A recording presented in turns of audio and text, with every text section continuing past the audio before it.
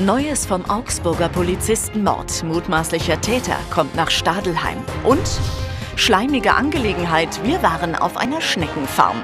Das und mehr am Sonntag.